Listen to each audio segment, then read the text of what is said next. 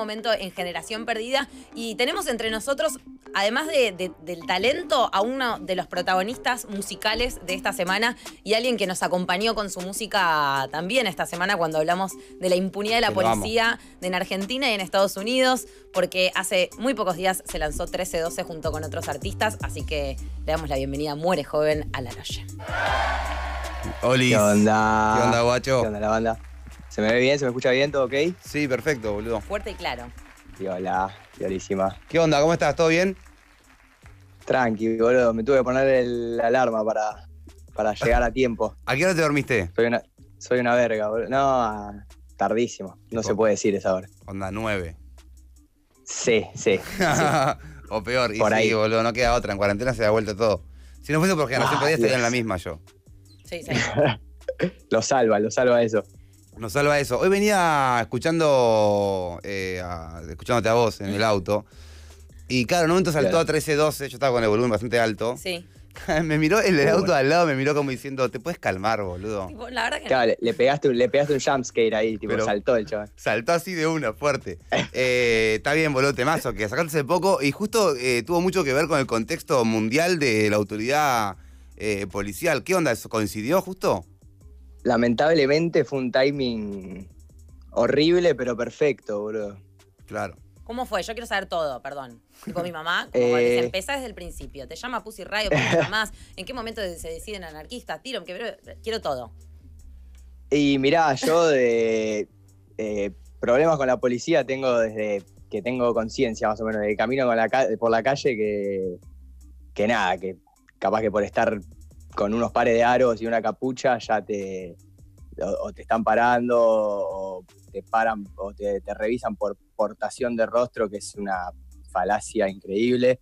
Pero pero nada, yo una vuelta me junté con Dillom y, y como tenemos un amigo en común que, que se llama Corpo, que es el, que hizo un poco del video también con Vlad, otro, otro chabón de Rusia, eh, está saliendo con Nadia, que es eh, una de las integrantes de Pussy Riot, y, y nada, dijo, mirá, estos pibes hacen esto que es re anti-yuta, Pussy Riot, únanse y creó ahí el, la magia. Una pregunta nada que ver. Dale. ¿Nunca, acudiste a la, nunca, ¿Nunca tuviste que acudir a la yuta? Eh, ¿Sabes qué no? A ver, déjame pensar. ¿Viste que pasa eso? El- Ah. está hecho el sistema de una forma que por ahí eh, no bancás el sistema que reproducen, pero si te pasa algo pareciera que no te queda otra que acudir a ese mismo lugar. Sé que para las mujeres Claro, es claro. mucho peor Sí, o no te queda otra que no Y sí, acudir. yo- A veces es eso, ¿viste? También. que ni siquiera ir. ¿Viste? La- las veces decís, ni qué vas a hacer la denuncia. Hmm. Es peor. Es que claro, sí, creo que una sola vez que era muy, muy, muy guachín, me, me robaron a la vuelta de la comisaría, me acuerdo, de mi barrio. Justo a la vuelta, tipo, a 50 metros. Y fuimos con mi viejo después y pff, olvídate, tipo, Se te cagaron de risa. nada, cero, sí, sí, sí. Se cagan de riquete, te robaron un buzo, dale, anda, anda para allá.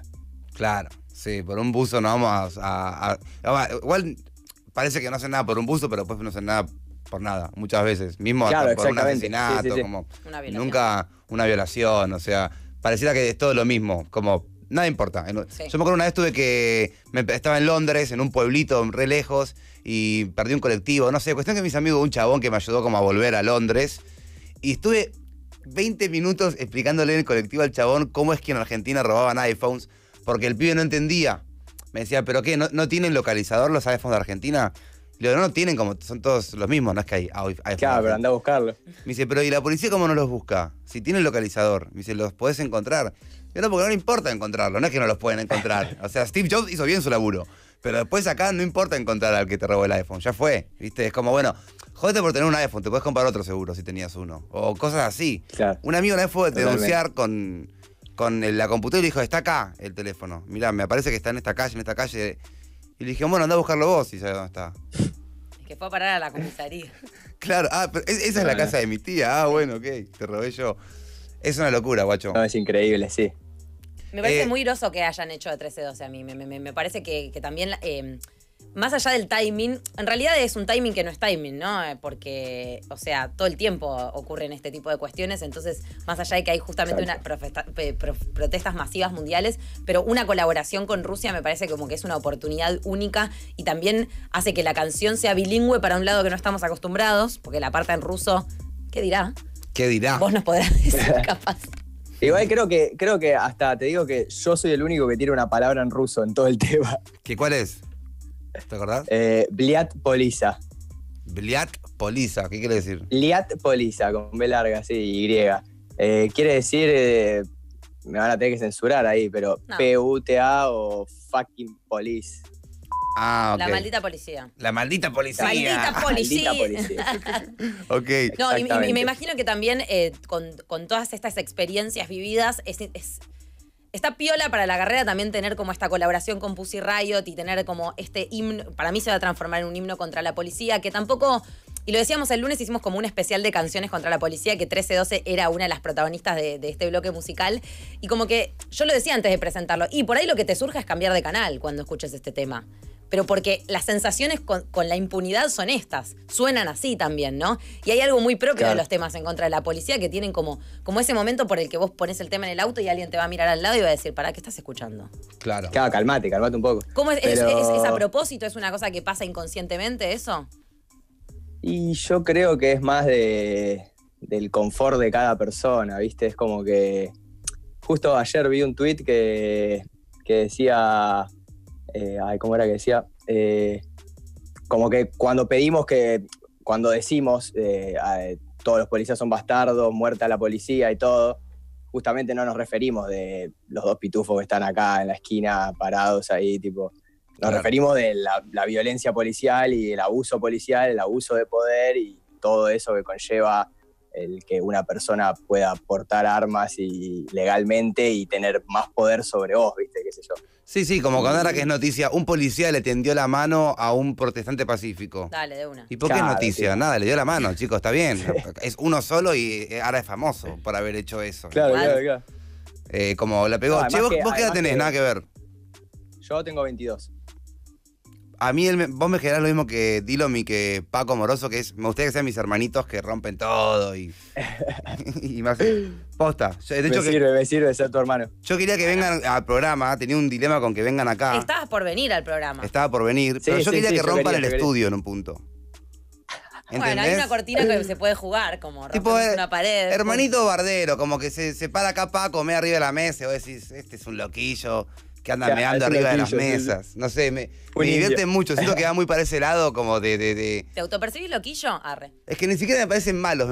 A mí me dan a jedes, tipo alguien jede, ¿entendés? Alguien que va Claro, y te claro. jedea. Y bueno, tienen que venir a, a nuestros shows. Ahí se jedea Ahí se jedea fuerte. fuerte, Yo, fuerte. yo te conocí por eso, por gente que decía como hay que ir a estos shows y viendo videos y, y demás. ¿Sabes que tengo otra pregunta? Eh, hay una parte de la canción Kelly que amo que dice, "Ay, si hago esta mierda solo es por la guita, que como me parece increíble. Eh, y me parece de jede también decir eso. Pero tengo una duda con todos los, lo- lo- los, los que hablan siempre de Gucci, de eh, tengo tanto Prada que ya no me entra en mi casa, todas esas cosas que decís. Vos decís.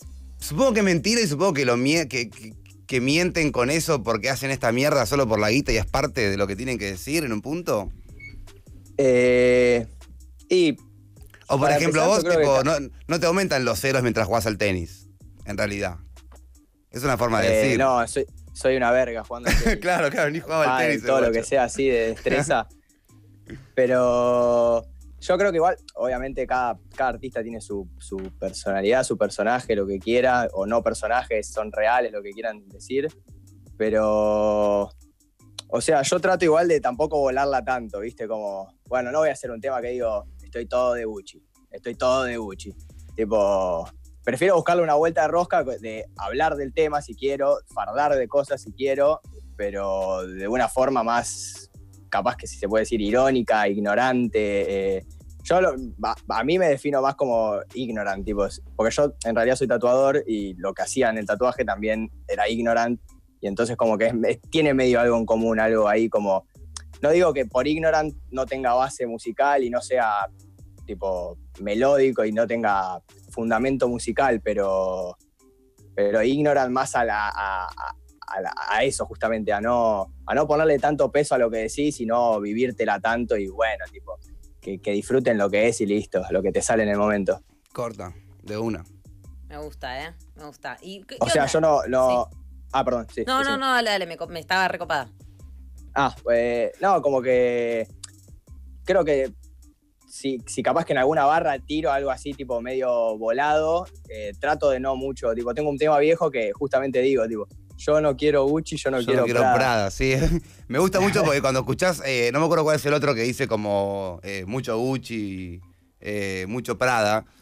Y otro que dice que tipo no quiere Gucci, no quiere Prada, y vos te quedás como, ¿te compro Bueno. la Gucci o no te compro la Gucci, amigo? Me, me puedo poner súper paja, pero bueno, Sí. la voy a hacer. Ya Dale, está, ¿no? Como paja. que veníamos con un programa muy cargado, pone joven, perdón, sorry. Sorry, Sí, sí, sorry, sí, not sorry. Eh, pero hablamos un poco de la deconstrucción y de todo eso, ¿no? Y de cómo nos llegan a veces las cosas, ¿no? Y toda esta semana de lo que venimos hablando es, está todo re bien, todos nos podemos indignar por eh, la muerte en manos de la policía de una persona afrodescendiente en Estados Unidos, pero también hay que mirarse al espejo y ver qué pasa acá en Argentina, ¿no?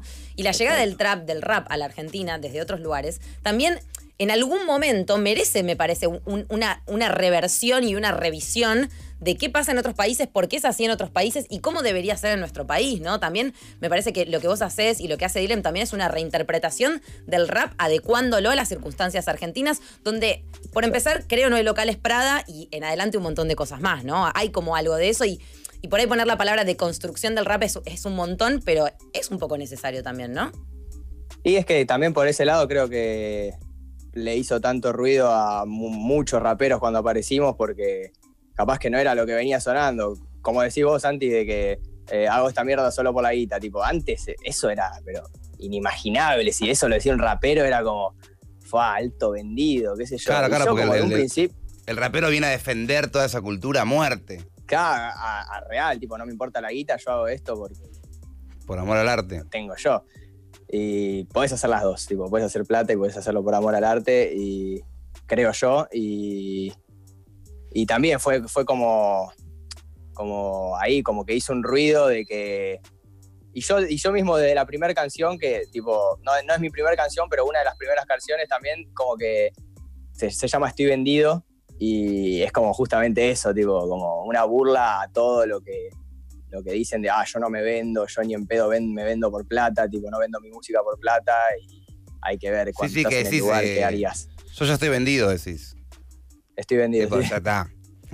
Corta. Claro, claro. Eh, Para mí es muy loco y sí, lo hablamos bastante de- del rap y a mí me parece que solo personas como vos y como algunos otros, algún puñado de artistas que forman parte del rap y el trap van a poder trascender un poco en esta historia porque desafían. Y, es lo que venimos hablando, ¿no? Desafían a la construcción de lo que creemos que es el rap y también se ponen un poco a, la altura de las circunstancias. ¿Es lo mismo hacer rap en Estados Unidos que en Argentina? Y yo no, para mí creo que no. Tipo, acá es como, como todo más, ¿cómo se puede decir? Más, sí, como más fantasía sería todo acá, tipo. Es más un personaje. Fue, obviamente en Estados Unidos hay una banda de personajes que lo toman como eso, como un personaje, pero yo creo que el trap de verdad de Estados Unidos es, eh, es una vaina como muy alejada a lo, que- a lo que se vive acá y En todo lo que es como la ostentación, sí, porque no tenemos ese nivel. Acá sería más como. Estoy usando Levis.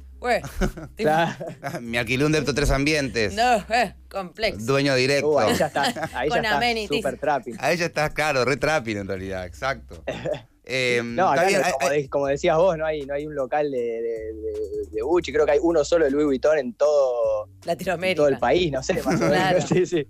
Claro, total. Eh, hay, hay una, creo que es una nota, no, no, una nota, no, es un vivo, con donde el Duque le preguntan por, creo que es por Dillon, si no me equivoco, que él dice como, eh, no sé cuánto lo consumo, pero entiendo que, que- que agarró una parte de la escena que estaba totalmente eh, como disponible, como una propuesta que, faltaba, no estaba, sí. que faltaba, y para mí eso es, es lo indiscutible y lo que trajo en su momento el problema con si la nueva ola, si no la nueva ola, eh, y demás, es que... eh, vinieron como a ser para mí los jede de los jede, ¿entendés? Como que pasa mucho dentro del arte. Lo punky del trap. Es, el, el artista va en contra de todo menos de su propio su propia visión del arte. Entonces, ir en contra de lo tuyo mismo, para mí es de eso, es de, de- de- de pararte arriba de la mesa y mear, ¿viste? Como romper las bolas, cosas que amo. No hay nada que me guste más en la vida a mí que romper las pelotas. ¿Querés pararte acá y mear? Yo me Sí, corro y corro la compu, amigo.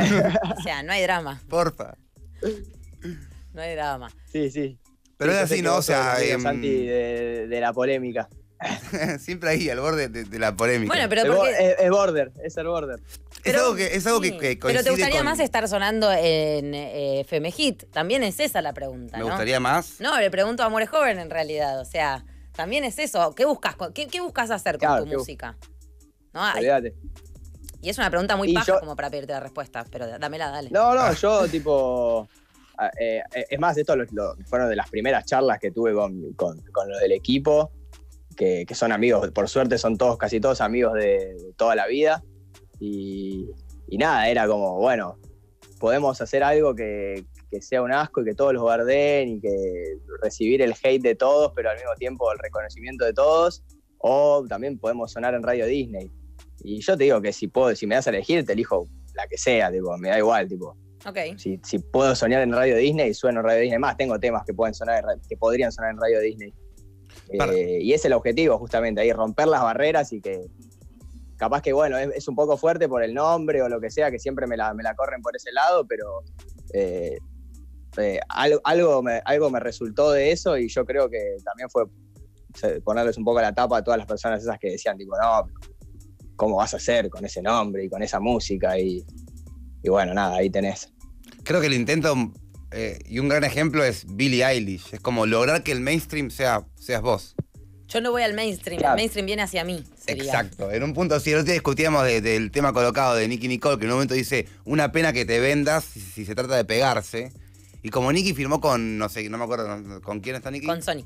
Cuando firmó con Sony, estaba esta discusión de, bueno, pero ¿no se vendió para pegarse ella?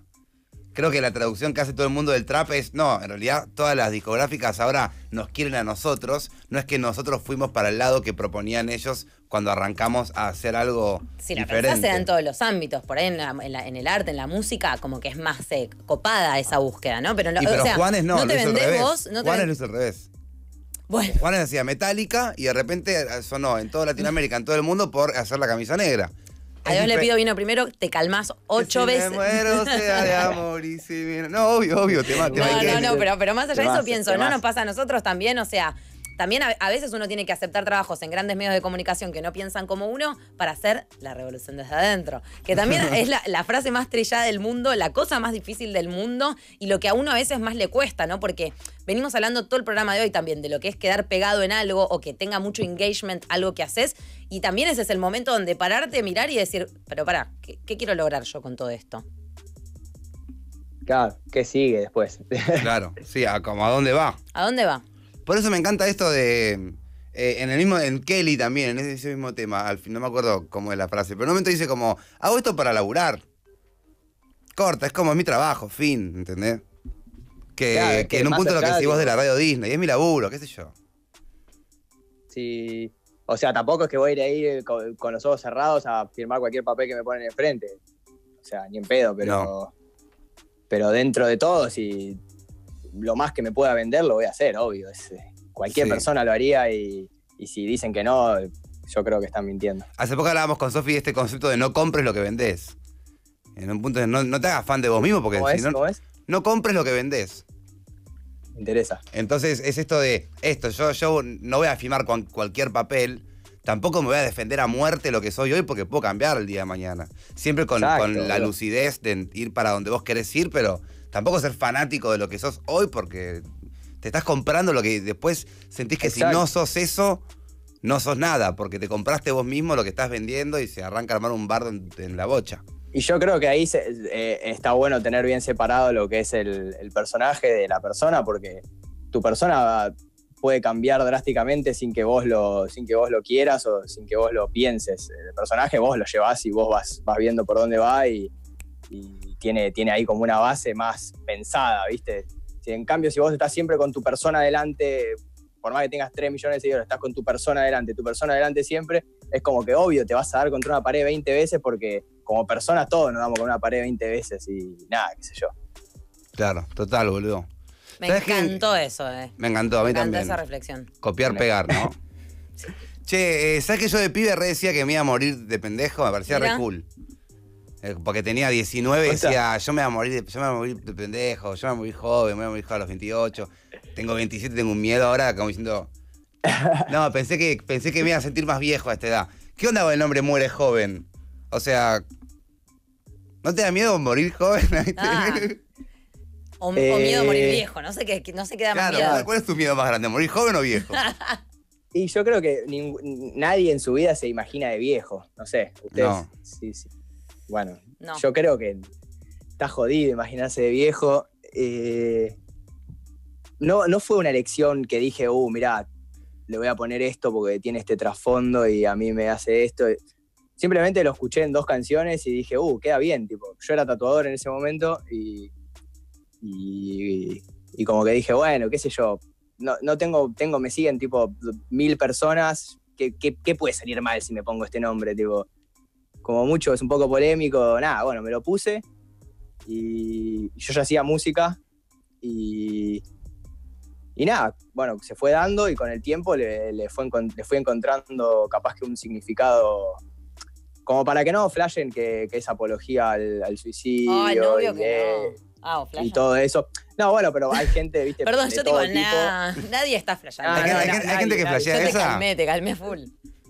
No, no, pero capaz que, viste, es como, no sé, mi viejo diciéndome tipo, eh, Muy. cambiate el nombre, vas a tener más, más reproducciones. Obvio, Eh, obvio, o tal, te- viste. No, Sí, obvio, Bueno, pero obvio. hay algo de morir joven y como que arriesgarse a hacer lo que. Tipo, el morir joven tiene tanta buena. Yo por eso decía que fama. iba a morir joven, porque le iba a repegar de pendejo. Claro, no solamente por el famoso club de los 27, me parece, sino también por, por una cuestión de, de como que si morís joven, podés generar todas las deudas que quieras, total nunca vas a pagarlas, ¿no? Como que hay algo de eso. Podés romper todo, total, después le va Claro, a no quedar. existen, la- no existen no. las deudas. No hay límite, corres rápido, o sea, creo que hay, hay mucho de eso y, y justamente... Te inmortalizás días, como alguien joven, tipo. Eso no es menor. Lo odiosa Es que, es Marilyn claro. Monroe. Y se murió a los 40, boludo. como- Claro. O sea, yo, yo también digo que eh, morirte, morirte a la edad que te tengas que morir, pero mientras tengas la mente joven, ya está, digo. Total. Hay uno de los O sea, Stones que a, dice. a estar em, fresco siempre. Nadie quiere morir joven, nadie quiere llegar a viejo. En un punto es como, en- sí, te, te pone enfrente de los, las dos cosas más grandes de la vida, que es como eh, justamente Sí, la sí. vida y la muerte. Y, Obvio. Igual me- me- a mí me gusta cómo se va como cambiando. Justo vengo pensando un montón en eso, ¿no? Cómo se fue cambiando y, y creo que estamos a punto de un momento bisagra de cambiar eso de del club de los 27 y de querer morir joven, porque como que está costando mucho sobrevivir últimamente, ¿no? Es como que morir joven sería lo, lo más probable que nos pueda pasar a todos hoy en día. Va, yo lo estoy Es que, claro, y además la- así. Además, el tabú, de la, el tabú de la muerte. sí, total. Es, el- o sea, ¿por qué? ¿Por qué tiene que ser algo malo? O sea, capaz que lo mejor de la vida y estás viviendo toda la vida para llegar a eso y te lo pintan como, bueno, es, es lo peor, tipo, es lo peor para los que quedan vivos, para vos no, vos trascendiste, no sé, andás a ver a dónde. Sí, también como, como ve- venimos muy educados y nuestros viejos abuelos y para atrás, como que hay etapas en la vida. Si yo muero ahora y no pude tener un hijo, entender lo que es formar una familia, tener, comprarme una casa, cosas que supuestamente no sé por qué pensaron que iba a ser si no moría, ¿entendés?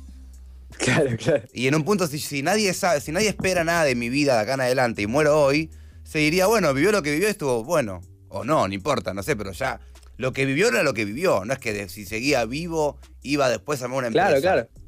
No, y ese cliché ese de, bueno, pero él no, él no está sufriendo, ya está, está muerto. O sea, los que sufren son los que quedan acá. Por más cliché que suena, es, es la pura real, realidad. Una vez, eh, una. Cuando, cuando se te muere alguien cercano, te cruzas con mucha gente que dice pelotudeces, lamentablemente. Y una vez una piba me dice, de la nada, ¿no te da pena que tu mamá no va a conocer a tus nietos, a tus hijos? ¿Qué hijos? Le digo.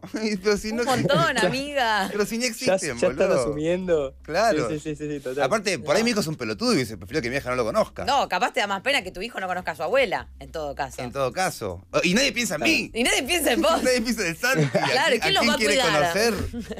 Por favor. Se, se- se- se- Sí, sí, sí, se espera una vida que no tenemos por qué tener y tranquilamente podemos. eh, eh, sí, morir jóvenes y haber vivido una vida piola.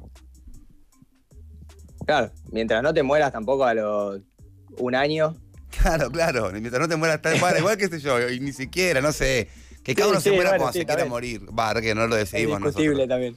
Es discutible. Eh, ¿Qué onda, guacho, con, con- con todos los eh, tus shows y, y demás?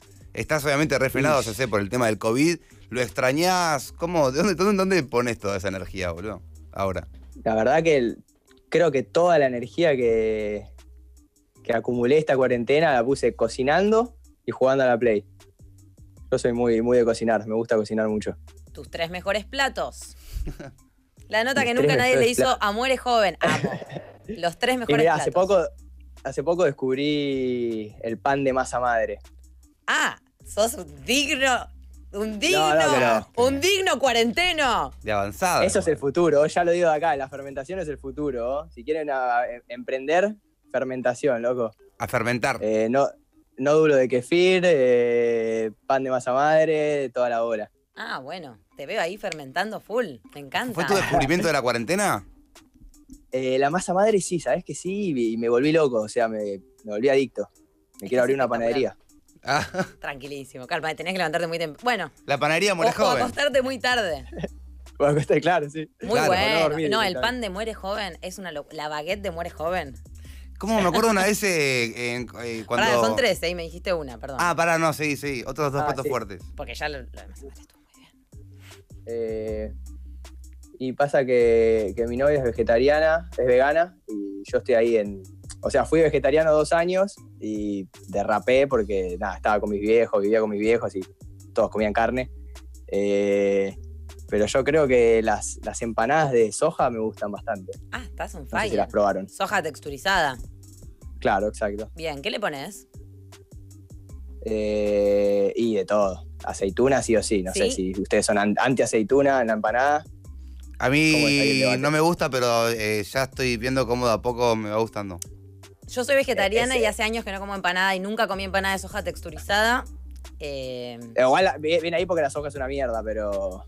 Es toda una mierda, ¿no? Pero no, bueno, es muy difícil ser vegetariano y querer cambiar el To- mundo a la vez. Es como que decís, tipo, po- pero la soja, el tofu también, decís. Pero Todo- pará, todo una pregunta. todo, ¿El tofu sí. también es de soja? Mátame. Por favor. Por favor. Sí, y el tercer plato de los mejores de Muere Joven, eh, en exclusiva y para Generación Perdida. Este es el número uno, este es el top uno. Yo lo pongo ahí a- lejos. eh, ramen. Ah, Soy- bueno. sos- pero es un- O sea, yo, Me, boludo, Sí, me, sí, me bien. voy a vivir No, no con. Con vos y tu novia. yo soy fanático de la cultura japonesa y todo lo que. Ahí está, a ver. No sé si vieron. No sé si vieron Naruto, pero. Es el, el kanji de, de Ah, Gara, de Naruto, que significa amor. ¿Y haces mucho ramen? Vamos. Qué rico, boludo. Sí. El día comí ramen. No lo hice yo. Joven Ah, es acaso la persona a- más tierna del a país. varias. Es un tierno, tío. Quiero, quiero que sea mi hermanito. Sí, tenem- esta- eh, tenemos COI. ¿Querés que te mande un COI de, de regalo? Porque me, me, me No llega hasta acá, ternura. ojalá. Ya les mandé un mensaje, le dije, por favor, pongan una sucursal, una sucursal en zona norte, me estoy muriendo. Calmadísimo, ya Ay, no. llega, hermano. Ya llega. Ya llega Coya Zona Norte. No existe acá nada, nada. No, hay, no existe masa madre, no existe ramen, no existe nada acá en zona norte. Están durmiendo en los laureles. Corta, ¿no? Nadie hace un carajo, y sí. Por, ahí me- por eso me fui de ahí, no había una mierda para hacer, boludo. Tengo, Bien ahí, bien ahí, hiciste muy bien. tengo un problema. Yo quería terminar esta nota con 13-12, pero capaz es mucho para ahora. Para después, masa madre 13-12. Capaz es con Kelly la onda. ¿Cuál, cuál es un tema que te encanta a vos? Porque a mí siempre me pasa que me encantan los temas que al artista no. Uh, ¿Viste? Re, re, que A porque pensé que conectábamos y al final ni siquiera, boludo. ¿Cuál, cuál es un tema que te, que Eh, te gusta no. mucho a vos? Y la clásica que te van a contestar todos es el que no salió todavía, pero no voy a ser tan, tan hijo de puta decirte eso. Ah, el que no Eh, salió. y pero Bien. porque le tenés O sea, manija sí, de el, que. el último. Y el último que grabé, porque es lo más, tipo, o sea, lo- los temas que voy sacando yo tienen un año de, de- de- de diferencia. añejado. O sea, Claro, por los temas más o viejos, sea, ya tipo. estás quemado. Claro, o sea, em, no sé. Neo Tokio se llama así, ¿lo estoy diciendo bien? No, Tokio, sí. Te, tipo, te, te genera algo a vos todavía o es como un tema eh, como que ya fue? Ese tema, justo dijiste el tema que te iba a decir que es mi favorito. Bueno, ¿En serio? Ah. Yo también lo amo, Sí. boludo, ese tema. ¿En serio? Bueno, Amo ese tema. le pegamos justo, bien ahí. Sí, Em, le- es más, hasta le quiero hacer un video y todo. O sea, imagínate que tiene como tres años ya y le quiero hacer un video todavía. Sí, ah, claro, no tiene video, boludo. Es un temazo y. Y pero reciclar canciones me parece que es la nueva. Ojo. Ojo, como, tipo, ojo. agarró un tema. De tanto reciclar boludeces podemos basura. No, eh, O sea, agarró un tema viejo y hacer un videoclip nuevo. claro, y re- te re- es como te reencontrás con la canción. Pero Sí, pará, yo lo- lo- me lo piden mucho, o sea, el videoclip de Neo Tokio. Sí, Mucha boludo. gente ¿Y qué me lo estás pide, no craneando sé para el video? Y ah, para mí tiene que ser algo de nivel Hollywood, así, de efectos especiales. Ah, Y es que dicen, autos voladores, Bitcoin en la mano. claro, es ¿viste? muy, Tiene toda muy esa cosa. 2077. Claro, este es súper futurista. En un momento no, no decís en ese. eh, Yo soy el G de aparte que escucha las, las nos letras. dimos dimos cuenta. Bien ahí, me sirve, me sirve que ¿Tu novia hace sushi de verdad o no, boludo? lo rompas todo. Capaz es otra, Santi, fue hace tres años. Eh, ¿Sabes que con el sushi no estamos? Capaz es otra, ¿no? La que cocinaba el mandaba al muere, yo. Claro, muere joven. Muere ahora, muere joven. Muere, muere ahora porque los pusimos en, en el- en el medio. Pará, Eh, entonces. No, con el sushi estamos medio. medio peleados. No sé qué onda. Ah, ok. No me quería meter en problemas eh, alimenticios. eh, Estas son las notas que la después pareja. la gente las ve en YouTube y dice. No, estos chetos no saben entrevistar raperos, se llevan re mal, muere joven, en realidad los odia. Eh, ¿Puedes ser fe de que no nos estás odiando en este momento? No, no, no. Ni en pedo, ni en pedo. Los Bueno, banco a muerte. Estás Te obligado. a queremos, guacho. Eh, bien ahí, bien ahí que ya vendrás acá, nos conoceremos, boludo. Llegaremos a tus shows. Rompete esa ahí. sempa de soja texturizada para cuando vengas. Venite con empas de Uh, sí, soja. sí. Te lo cambiamos por ramen de coisito. Y mm, Uh. gracias, guacho, por eh, despertarte. No, bueno, gracias a ustedes por invitarme y nada, la pasé re piola. Ojalá que sí, ir para ahí, que nada, va a ser más dinámico y más, más piola. Gracias por despertarte, cierre pene, y gracias por despertar con tu música, porque a mí me genera eso. Arroba muere joven, así lo pueden encontrar en las redes sociales. Y Santi, ¿con qué nos vamos entonces? Vamos con este tema Iken, Neo Tokio, el preferido de More Joven, el preferido también mío.